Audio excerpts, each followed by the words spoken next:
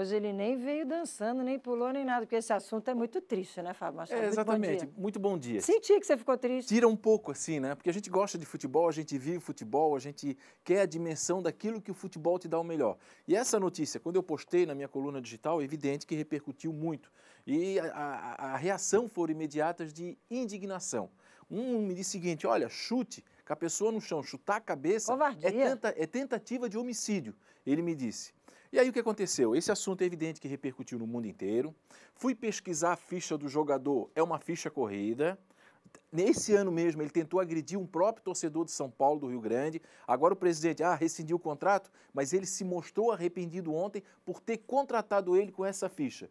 Ele já teve problema na base do Inter, ele teve problema lá em vários times lá do Rio Grande do Sul, em Pelotas. Ou seja, é um jogador problemático. É um jogador, é, uma, é tipo uma bomba relógio uma hora ele ia explodir. E ele acabou acontecendo isso ontem, William. Ele precisa de tratamento psiquiátrico, precisa ir preso, precisa de uma série de situações. E isso é profundamente lamentável.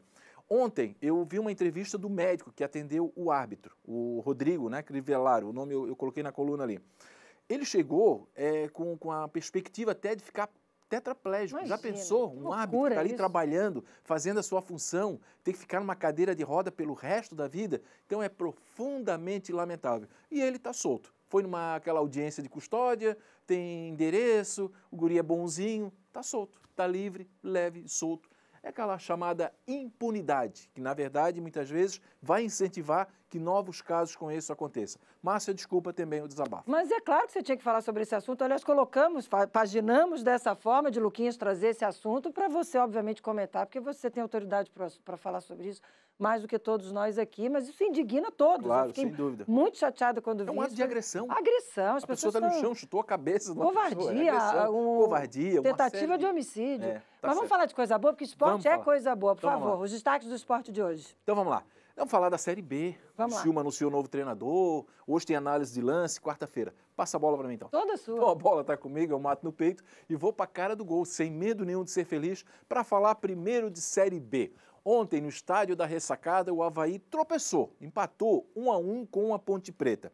O Havaí fez um bom primeiro tempo, dominou a equipe da Macaca lá de Campinas, fez 1 a 0 aliás, um golaço do Copete, né? O que está jogando de bola esse colombiano aí é sensacional. Olha ali, ó, ele foi lá, tirou, tirou do goleiro 1 a 0 O Havaí teve chance de ampliar o jogo, o Havaí dominou o jogo. Aí na segunda etapa, o time, o, Gilson Kleina, fez apenas uma alteração, só uma.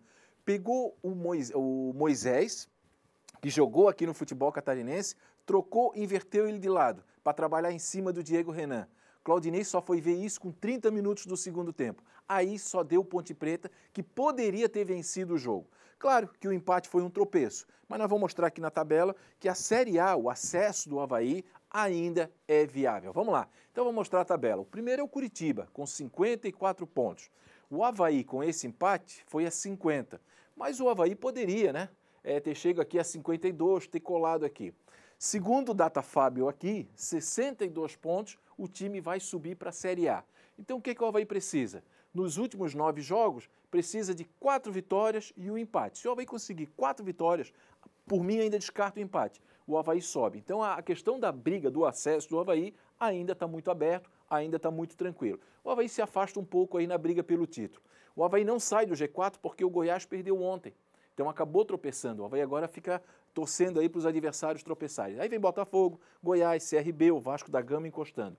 O Brusque, cadê o Brusque? Vamos lá, ah, tá aqui ó, na 16ª posição com 32 pontos. E no Z4, né, a zona do rebaixamento, Londrina, Vitória, Confiança e Brasil de Pelotas. Esses dois aqui dificilmente vão escapar da Série C. Vamos falar da Série A, falar do próximo jogo, que é hoje à noite, às 19 horas. A Chapecoense recebe o líder do campeonato e, e para mim, o virtual campeão. Né? O Atlético Mineiro está aí com, já com uma mão na taça, aí, se preparando para levantar o troféu. Tem um baita time. Está muito desfalcado, porque tem jogos da seleção brasileira, tem lesões, mas não dá para descartar a força do Galo. A Chapecoense nós estamos acompanhando aquela situação muito difícil, virtualmente rebaixada, buscando aí milagres. O jogo é hoje, às 19 horas, na Arena Condá, em Chapecó.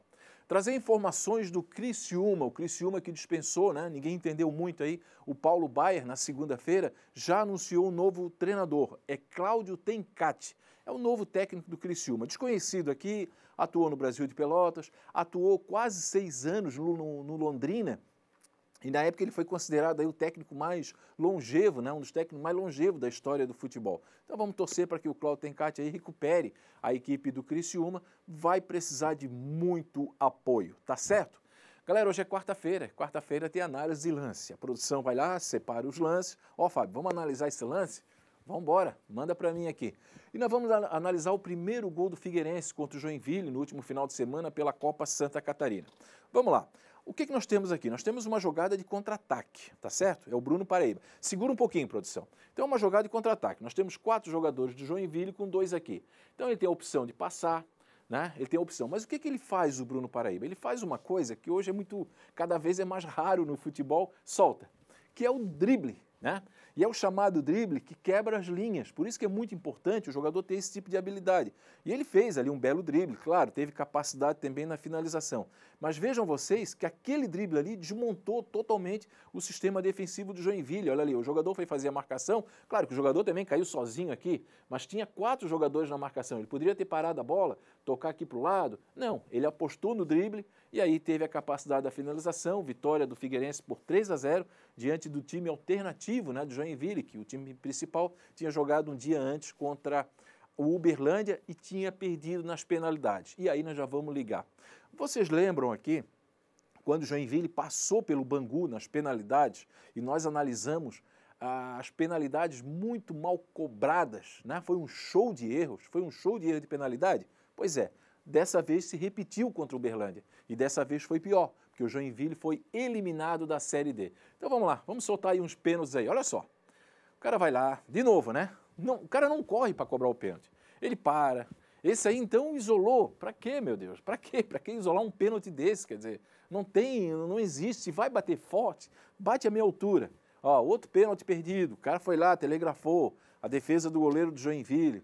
Aí depois vai lá outro jogador do Joinville. Olha o show. Ó, para que essa paradinha? Olha ali, o que, que ele fez? Adiantou no que daquela paradinha, daquela rebolada? Para que, que se faz isso? Vamos lá, mais um pênalti, mais um show de, de pênalti perdido. Nunca vi tanto em duas semanas na arena. Olha ali, parou.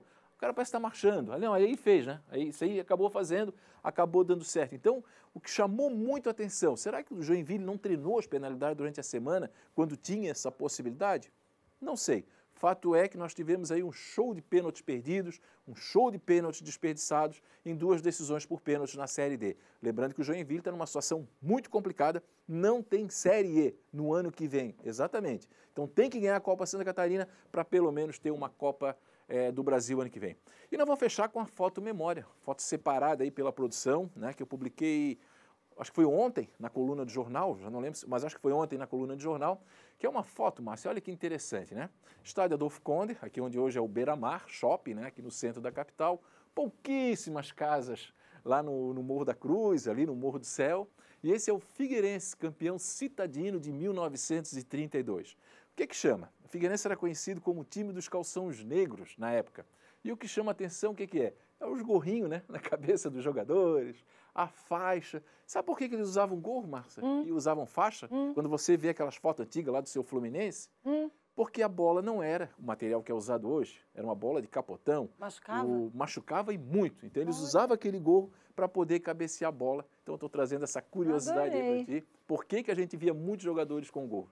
Nesse time aí está o Calico, que é o antepenúltimo ali, né? O Calico é o terceiro maior artilheiro da história do Figueirense. Foi um dos maiores jogadores da história do clube, do clube Alvinegro, claro que agora em junho fez 100 anos. Muito bom, eu adoro essas recordar a viver. É bom, né? É muito legal, né? Volta sexta? Volto sexta-feira, Márcia, qualquer hora do dia, a coluna digital no ND+, e a coluna do ND impresso. Lembrando, Márcia, só rapidinho aqui, que no sábado, aqui na Bahia, na Beira-Mar, nós teremos a primeira etapa do Campeonato Estadual de Remo. E durante a semana a gente vai trazer novidade. Bem legal. E o troféu é ND 15 anos. Claro que vamos falar sobre esse assunto, importantíssimo. Obrigada. Despeça-se, por favor. Márcia, para você, para você, nosso amigo, galera do esporte, galera do futebol, uma super quarta-feira. Uma ótima semana, com muita paz, saúde e felicidade. Coisa boa. Ótimo dia para você, ótima quarta. Na sexta a gente espera. Combinado. Até lá.